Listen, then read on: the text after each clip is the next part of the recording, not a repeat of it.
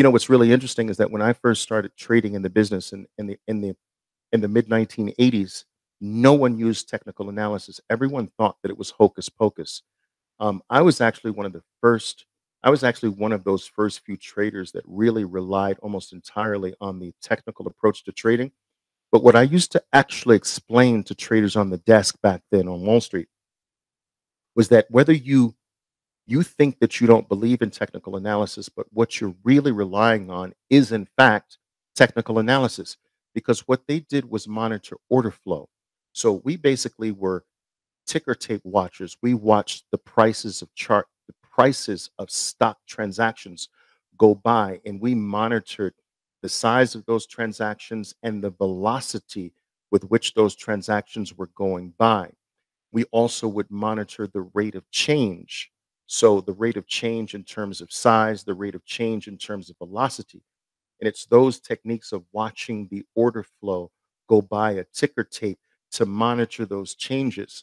Well, what we were initial, what we essentially were doing, we're monitoring the, we were monitoring the individual transactions that would make up a technical bar on a chart. So instead of collecting all of those transactions and viewing them all condensed into a single bar, we were actually monitoring every single one of the transactions that would create a bar.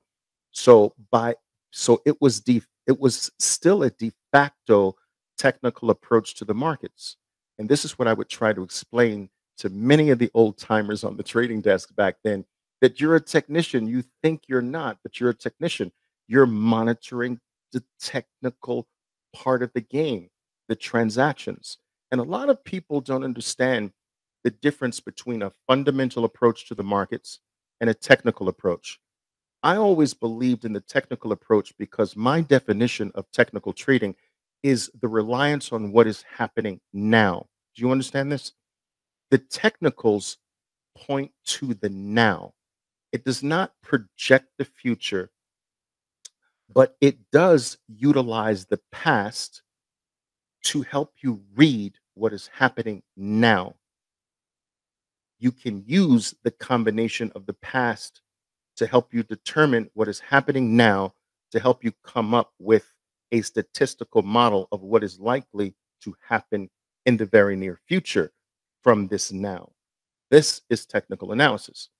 Fundamental analysis uses past data regarding a company, right?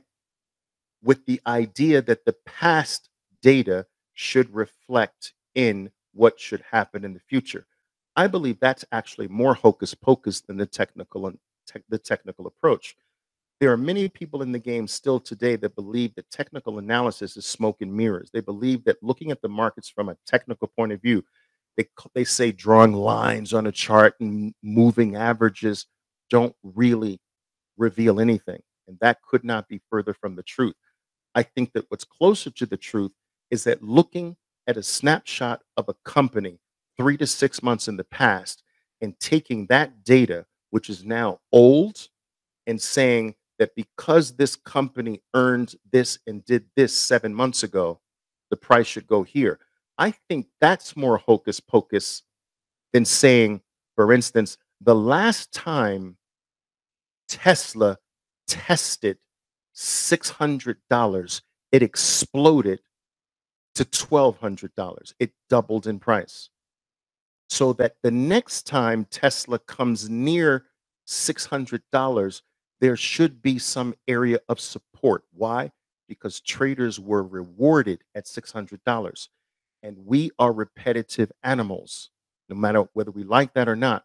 And wherever, whatever we get rewarded from, $600, we will tend to repeat. So a repeat buying or going into Tesla at $600 is a high likelihood because that act in the past rewarded traders.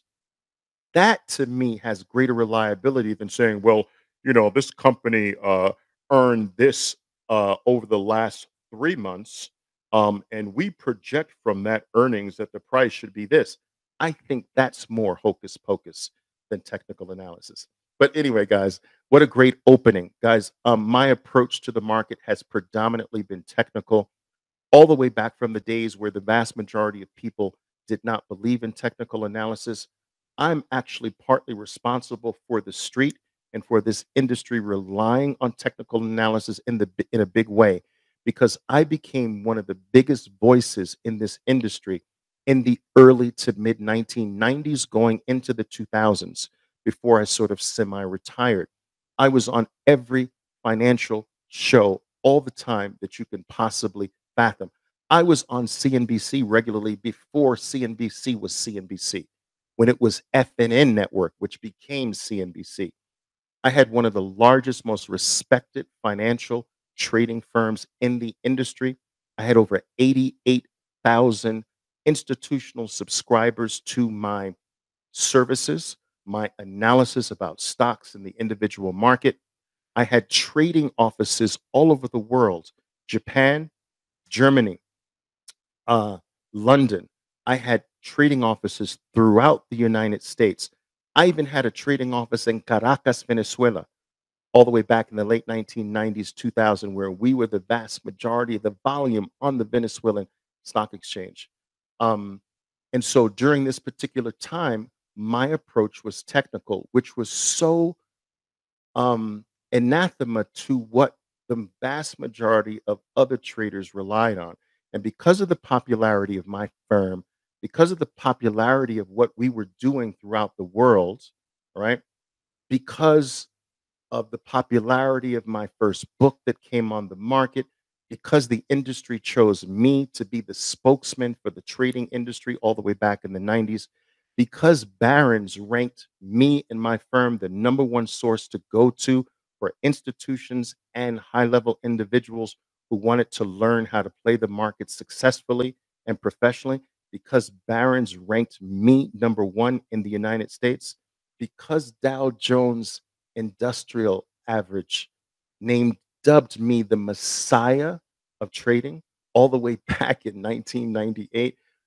I mean, 1999. Because of these things, the popularity of my approach to the market, like swing trading from a technical perspective and day trading from a technical perspective, actually proliferated. Now, I'm not saying I'm the only one who helped to contribute to that, but I am definitely one of the major ones. So I tell you this to say this, guys.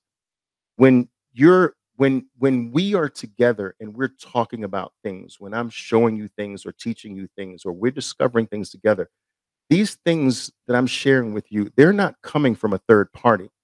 This knowledge that I share with you is not coming to you because I've taken a seminar somewhere, or I've read someone else's book, or I was the mentoree of someone else. This came from 38 years of living in the markets every single day of my life, nearly four decades long, losing, winning, going through major ups, major downs, and surviving. Right? My pedigree is very rare in this space. It's very rare to find someone with nearly 40 years of trading experience and document it. You can go back and look this up, document it. Um, that's still in this business. All right. So there you are. That is why I want to be your trader for life. I'm so glad you're here. Thank you for recognizing that, guys, and thank you for your support. I love the comments that I see persistently on the videos. Um, I love the fact that many of you are starting to like the videos. There's, you, I want you to understand that this content takes a lot of time to put out for you on these channels in three different languages. Um, it takes a lot of effort. There's obviously cost associated with it. The way you pay me back is to like the video. And even if it's just a comment, great video, loved it, Oliver, or hated it, whatever the comment is, the comments help, the likes help. And whenever you don't like something, hit the like, hit the dislike button. That helps too. All engagement helps. Okay.